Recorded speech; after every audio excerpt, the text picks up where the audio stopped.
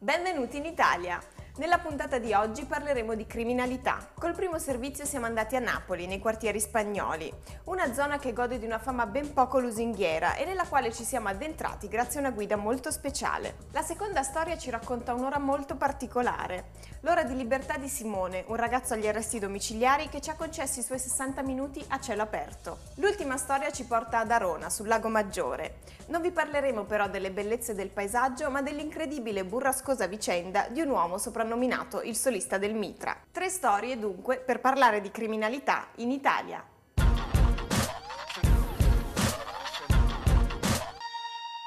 A Napoli vi basterà semplicemente chiamarli quartieri e tutti capiranno subito a cosa state alludendo.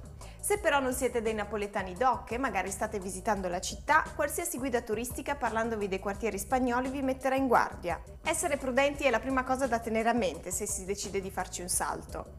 I quartieri spagnoli, come vuole un'etichetta appiccicata non proprio senza motivo, sono i vicoli della droga, il quartiere della camorra, il ritrovo della criminalità. Eleonora è partita alla volta di Napoli per capire in compagnia di chi nel quartiere ci vive e per il quartiere lavora se la situazione è cambiata o se i quartieri spagnoli sono ancora un feudo della criminalità in Italia.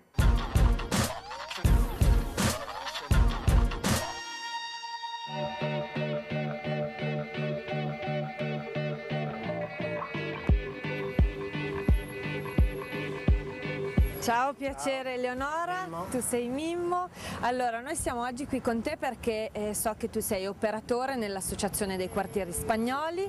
Noi stiamo facendo una puntata su eh, criminalità e giovani. Secondo te siamo nel posto giusto? Posto giusto, al momento giusto. Perché purtroppo sono famosi questi quartieri? Perché diciamo che si concentra la fascia sociale eh, la classe sociale bassa di Napoli, eh, sia dalla borghesia classe povera, sia povera di valori e quindi che sfocia poi nella violenza e nella microcriminalità. Eh, però io che ci vivo ti dico che è una delle zone più sicure di Napoli perché chi deve delinquere va a delinquere nei posti dove c'è ricchezza, non dove c'è già povertà.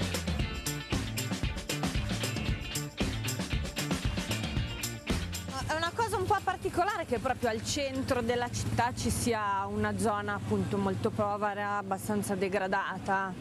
Come si spiega? Perché vari tentativi di eh, progetti di qualificazione della zona dei quartieri spagnoli sono andati eh, insomma, falliti per, eh, perché ci sono va varie, vari impedimenti eh, sia delle famiglie ad esempio che vivono nei bassi che non vogliono c'era questo progetto di riqualificare i bassi come negozi. Cosa sono i bassi esattamente? Sono queste case a, a piano terra, insomma dei terrani, molto piccoli. Nessuno ha abbandonato questi bassi, anche, anche se immagino che viverci non sia proprio piacevole. No, non è piacevole, però comunque ci vivono anche più famiglie dentro, anche se sono molto piccoli, però chi ne ha bisogno, come si dice a Napoli, si arrangia.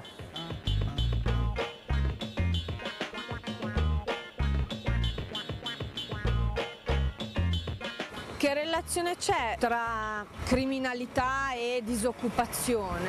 Iniziano proprio eh, con i nostri ragazzi ehm, che cercano anche un lavoro tra virgolette onesto e il più delle volte finiscono col fare i garzoni del bar o del salumiere. Poi dopo vengono contattati da chi non devono essere contattati che invece dà eh, giornalieriamente eh, molto di più di quello che loro possono guadagnare in una settimana.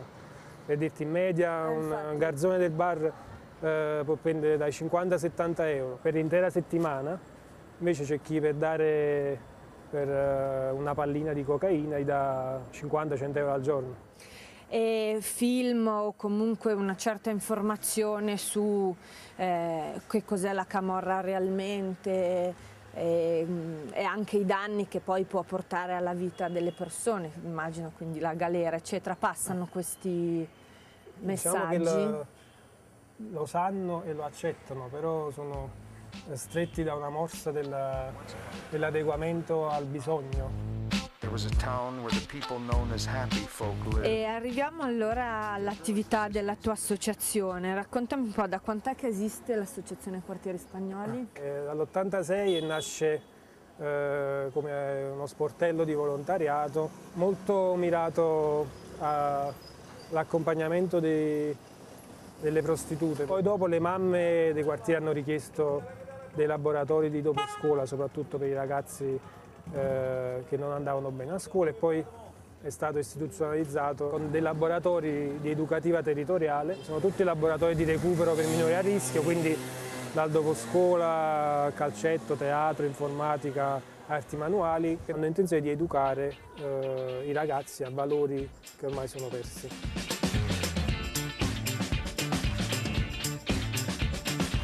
Quali sono le difficoltà principali che eh, affrontate in questa attività educativa?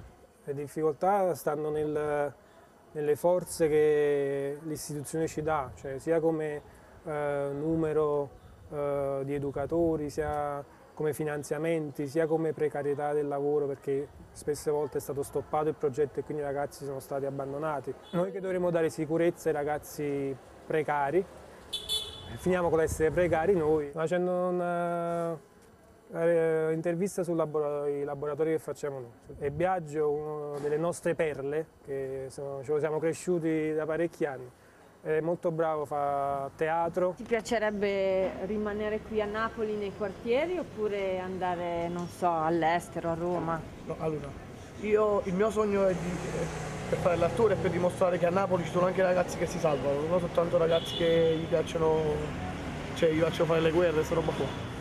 E per questo sono convinto, cioè voglio, voglio diventare qualcuno proprio per dimostrare che Napoli eh, ha anche dei lati positivi.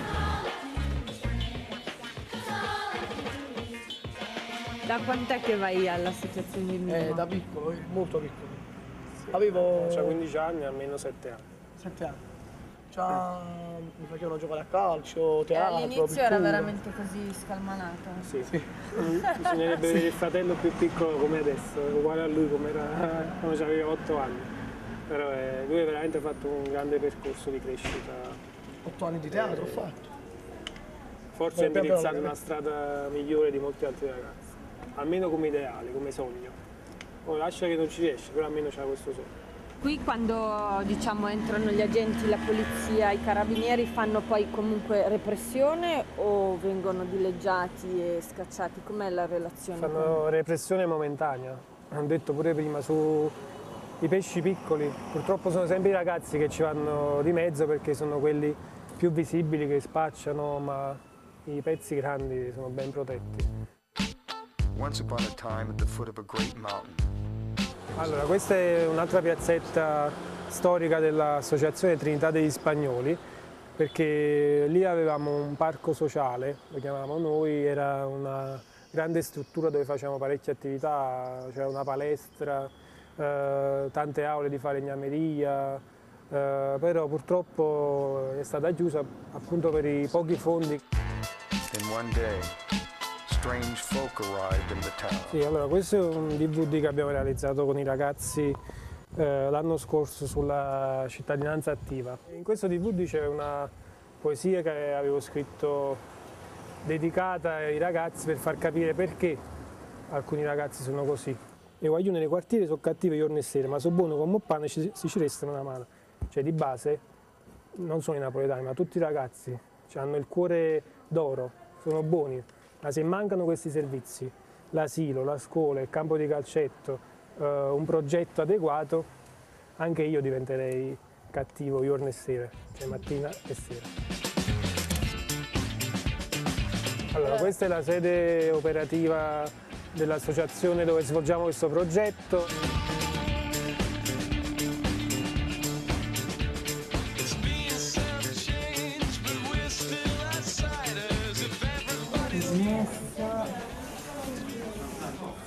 Raccontaci qui cosa sta succedendo. Allora, loro sono eh, i vari operatori del progetto e martedì facciamo un eh, recupero scolastico per un micro gruppo di elementari, Voi avete quanti iscritti? un centinaio di iscritti. Ne prendete 100 ma le richieste sarebbero di più, cioè abbiamo sì, una lista d'attesa di altri 40 persone, però purtroppo non, non sempre possiamo prendere. Ditemi i vostri nomi Bruno. Michele. fate gli sketch insieme. Sì, c'è anche un altro componente. E li scrivete voi gli sketch? Sì, Un po' tutti e tre.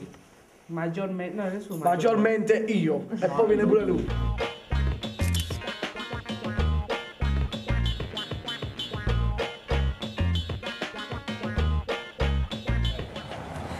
Diciamo oggi abbiamo incontrato tre ragazzi che non ci aspettavamo di conoscere nei quartieri spagnoli. Come si fa a farli crescere così? Vi dico che sono di base tutti così, se uno si offre a loro con il cuore, con passione e con un pizzico anche di speranza, loro ti danno il doppio. Se io ti do un input violento, loro ti danno il doppio della violenza, se io ti do un- il cuore, loro ti danno due cuori. Grazie. Un bacio a Bonsai TV.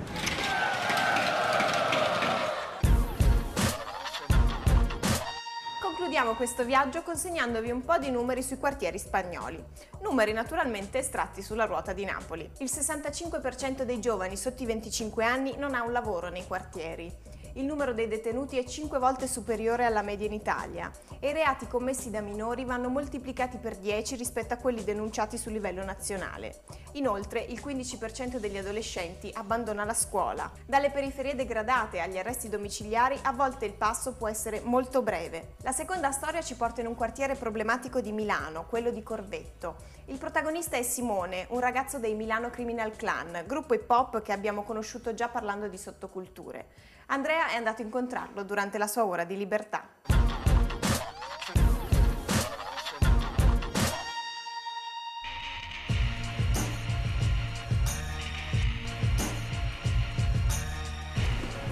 Qua sei nato? Sai, ti avevamo promesso sarebbe durato tutta la vita e invece sei distrutta quando? Eh, due anni fa. Ma tu già non abitavi più qui? No, abitavo qua con la ah, ragazza. abitavi. Ah, sì. E Quindi sei stato qua fino a due anni fa, poi la Sì, casa poi ha cominciato a cadere E c'è e, andato subito il cambio di urgenza. e quindi da qua abbiamo spostato. Qua ai Monpiani. Che ha aumentato l'affitto, ha aumentato tutto e fanno più schifo di questo. Sì. Quindi non sei contentissimo. No, per niente. Da fare un altro danno per, per trovare una casa. Perché tu per trovare la prima casa hai fatto. eh, Sì, per pagare l'affitto di qua. È così che su- 8.000, 8.000 euro che, non- che volevano subito in battuta, possa dire un po' alla volta. Abbiamo dovuto fare un danno che non ne valeva la pena però. Il danno è il motivo per cui. Per cui mi, trovato, mi trovo ai domiciliari. Sì. E cos'è che hai fatto? Una rapina. Una rapina in banca. A quanti anni? Eh, è stato 20 27 anni. Ma tu da solo l'hai fatta? No, no, ho contattato delle persone che non conoscevo nemmeno. Ci ho chiesto un aiuto, loro mi hanno proposto sta rapina. Che è andata a ma, cioè i soldi sono stati presi, però Non da te. non da me. Noi abbiamo avuto un incidente in macchina, io mi sono svegliato in ospedale perché avevamo avuto una botta con un'altra macchina. Un, Mentre impa- scappavate. un impatto abbastanza veloce, 150 all'ora, e mi sono svegliato in ospedale. Ero un po' messo male. Testa aperta, eh, sei fratture alla spina dorsale e due al collo. Non mi ricordavo praticamente niente. Dopo un paio di giorni ho messo a fuoco tutto. Tra quello che mi diceva la polizia quando è venuta a interrogarmi, i fogli dall'avvocato, mi sono ricordato un po' di cose. Fino al trasferimento. Dov'è che ti hanno portato? Alle Vallette, il carcere di Torino. Il carcere più brutto d'Italia. E da Torino poi ti hanno trasferito. No, no, ho fatto tutto a Torino fino a marzo, quando con un aiuto degli amici, la mia famiglia e mio cognato siamo riusciti a rimborsare alla banca, a pagare tutti i danni ai clienti e mi hanno mandato a casa i domiciliari. Quanto eravate riusciti a incassare dalla rapina? Guarda, non lo sai. saranno forse. stati più o meno 2-3 mila euro, Ah. più un cliente che ha dichiarato che io gli ho portato via 7 mila euro, e non era vero. Cioè, Da solo aveva più di tutti i che Cioè, c'erano in ci hanno banca. rapinato loro a noi e più o meno abbiamo dovuto dare 15.000 euro tra i soldi della banca, i danni e tutto il resto. Ma gli altri li hanno beccati? Quindi tu hai dovuto ridare? A me mi hanno abbandonato nella strada. tipo un cane. Pensavano che stavo morendo ma l'ho lasciato sdraiato a terra. E stando dei fogli, quelli mi hanno tirato fuori, da- m'han tirato fuori, io sono volato fuori dalla macchina e mi hanno lasciato là e sono scappati. Ma tu della rapina ti ricordi qualcosa? Mi ricordo l'entrata. L'entrata, io che tenevo una ragazza gli dicevo di non preoccuparsi, perché piangeva e stava male, dicevo non ti preoccupare che nessuno ti tocca, non ti preoccupare, quelli che hanno preso i soldi, il tempo che siamo usciti, eh, cioè, sono robe messe a fuoco così, non è che mi ricordo più di tanto, Ma eravate armati o... con un taglierino. E da lì ti sei trovato in una pozza di sangue per terra. Veramente, ho rischiato pure la vita, ho rischiato. Per che cosa? Per pagare l'affitto all'Aler. E quanto ti è andato? Mi hanno dato sei anni, no, prima- primo grado 12 anni perché dicevano che io ho usato l'od- l'odiosità verso i clienti e che non era vero, e perché io la prima cosa che ho fatto, ho visto sta ragazza piangere, sono andato subito, subito là a dirgli di stare tranquilla, che nessuno l'avrebbe toccata. Poi mi hanno levato metà della pena perché io ho ammesso subito le mie colpe, mi sono preso le responsabilità, mi hanno dato sei anni e confermati cinque. Adesso ne ho fatti tre già. E ne hai altri tre domiciliari? Sì, ma il fatto è che adesso cioè, non ne vale la pena che mi fanno stare a casa i domiciliari. Eh, C'ho la ragazza incinta, io devo andare a lavorare, I domiciliari come funzionano? devi stare in casa tutto il giorno. Tutto non il puoi giorno. avere contatti con nessuno, non ti puoi affacciare alla finestra, non puoi parlare al telefono, non puoi usare il computer, che sono tutte cose che io non faccio eh, perché non ne vale la pena. Mi fai stare in casa, ho pagato il mio errore, cioè ho messo le colpe e tutto. Farmi, cioè, non ne vale la pena. Quanti giorni puoi uscire alla settimana? Adesso ho avuto un permesso di uscire tutti i giorni dalle 10 alle 11 del mattino. E nella tua ora di libertà quando esci cosa fai? Vado a bere il cappuccino qua al bar, porto il cane, vado a suonare a lui e poi me ne torno su in casa. Tu quindi c'è possibilità di lavoro devi aspettare. Ho fatto, ho fatto richieste, ma niente. E non è facile adesso che mi prendono con, con questa condanna che ho avuto. Non si fida più di nessuno. Loro vogliono sapere se hai precedenti. Magari dici sì, ho avuto qualcosina da piccolo, però adesso ho avuto un'altra condanna abbastanza grossa.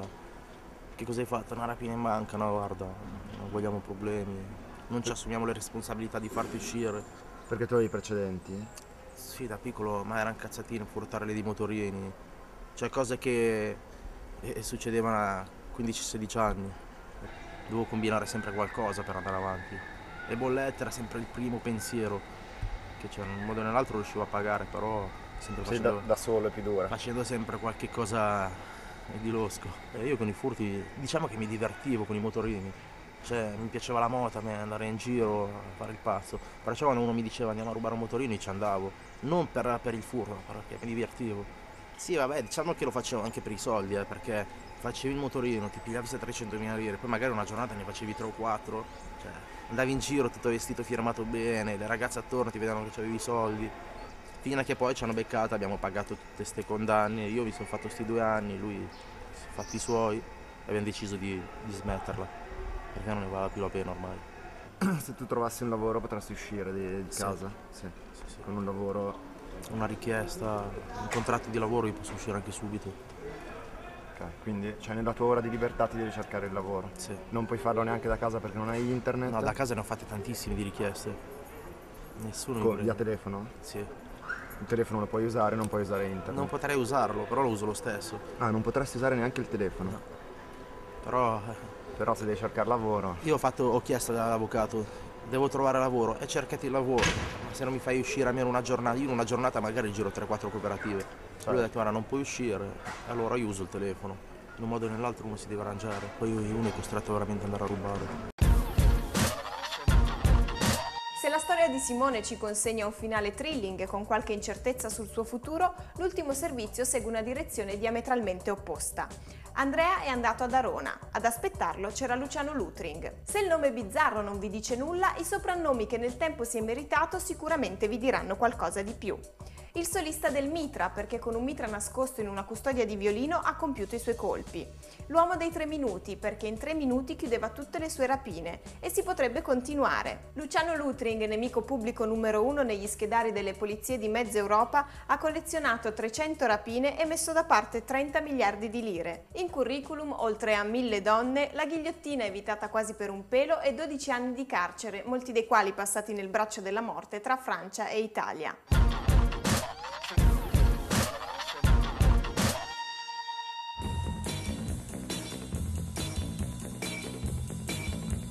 Ciao Eh, piacere Ciao. Giorgio, come stai? Tutto Andrea, bene? bene, bene, tutto bene, bene. Ci porta a conoscere una persona, Ti giusto? porto a conoscere una persona davvero simpatica, eccezionale, generosa. Guarda, non voglio anticiparti niente, te lo devo presentare perché lui è veramente un grande big, è Big Luciano. Ciao. Eccolo qua, ti presento Ciao. Luciano carissimo. il solista del Mitra. Ciao caro. Ciao. Prego, beviamo qualcosa. Se volete accomodarvi. Ti chiamano il solista del Mitra, giusto? Sì. Perché? Perché nella custodia di violino che io studiavo, mio padre di origine ungherese desiderava che io divenissi un violinista zigano. Nella custodia di violino ho inserito un bel giorno un mitra e ho cominciato la mia vita delinquentistica ai margini della società. Adesso non c'è più il Mitra, però. No, non c'è più il mitra, vedi, adesso, però questa custodia è l'originale perché il mitra mi fu sequestrato dalla polizia. Allora, raccontaci un po' la tua vita, diciamo, da, da- da giovane. Da giovane io sono nato nel 1937, sono un figlio della guerra e del dopoguerra. Io ho trovato da un vecchio rigattiere, una pistola, una Miss Wesson, e andavo a ballare la sera, 18enne, 19 anni, con sta pistola infilata nei pantaloni. Alle ragazzine, sai, di balera di quei tempi, invece di fargli sentire il sesso, sai, qualcosa di, di- di violento, qualcosa di bello, li facevo sentire all'angolare la pistola facendo sì che io fossi un gangster, un Al Capone, un bandito. Un giorno mia zia Vittoria mi ha mandato a pagare la bolletta della luce, entro in questo ufficio postale, l'impiegato era lì a, a manovrare una vecchia Olivetti 55, io stanco dall'attesa ho picchiato una manata sul banco e ci ho detto oh ti spicciano e spostando la giacca per prendere la bolletta della luce, questo qui intravisto la pistola, sì sì sì, ha cominciato a darmi pacchi di soldi e prenda, prenda. Io, non capendo cosa lui volesse riferire, ci ho detto prenda che cosa, dai, muovete.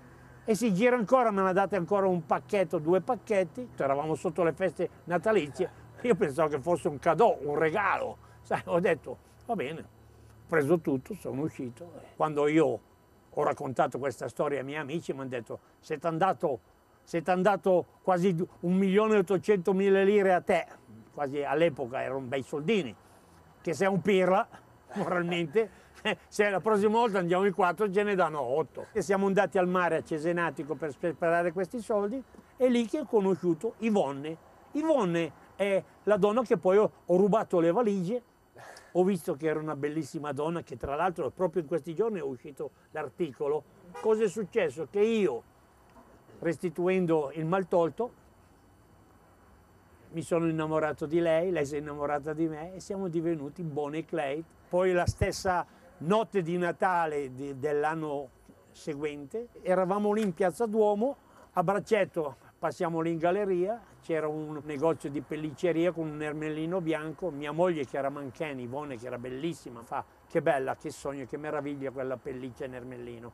Io cosa potevo dirgli? Da innamorato, da povero lupo innamorato, ci ho detto prendi il taxi e vai a casa. Tu che fai? Vedo se trovo il padrone. Ho infranto la vetrina, ho portato via anche il manichino e sono andato a casa, gli ho regalato questa pelliccia. Quante rapine hai fatto? E eh, dopo di lì, sai, si entra nel giro perché dopo non ci si accorge più, quasi come una droga. Che certe volte se non sentivo il rumore dei vetri infranti di notte, se non avevo l'emozione e la libidine di fare rapine in banca, io non riuscivo a dormire. Avevo 22-23 anni, sono stato sette anni latitante ricercato da tutte le polizie d'Europa. Ho compiuto quasi oltre 300 rapine, sono stato arrestato, ferito a morte, condannato a 22 anni di lavori forzati, ho rischiato la ghigliottina perché all'epoca davano delle condanne esemplari. Andiamo a farci due passi così intanto ci racconti i tuoi periodi. Volentieri.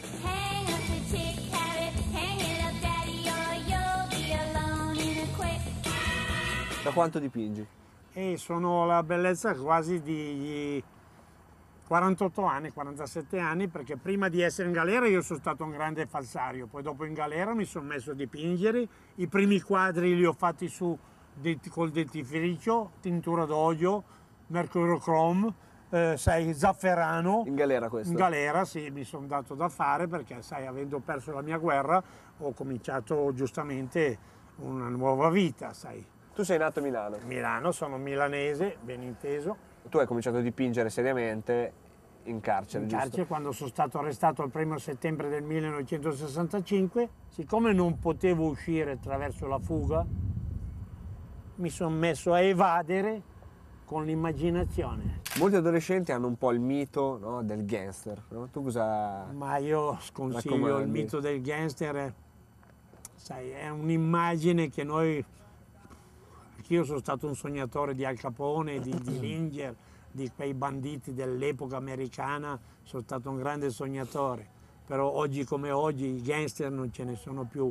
Io penso forse di essere l'ultimo bandito romantico.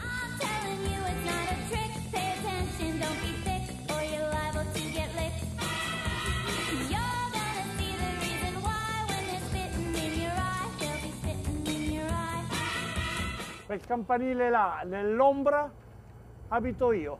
Quando uno vede queste cose, come può aver voglia di, di andare a rapinare in banca? Nel segno di Lutring si chiude la puntata sulla criminalità. Le tre storie di oggi ci hanno mostrato, seppur con angolazioni differenti, tre fotografie alla periferia della legalità. Resta da chiedersi quale sia la percezione del fenomeno criminale in Italia.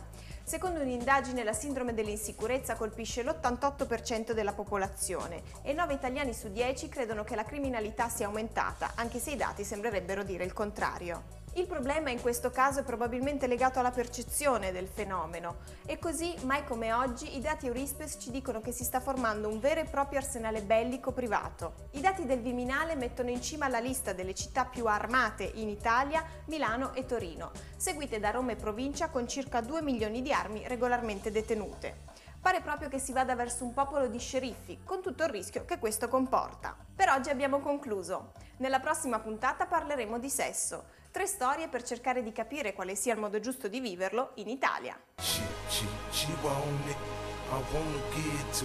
Il sesso vivo di sentimenti è, è- è un'altra cosa, è l'erotismo. Siete mai stati in un sex shop? No, in realtà. Manette. Se vuoi fare l'attrice porno, almeno fintami un orgasmo. Si fa sesso per lavoro e col partner, sono cose differenti.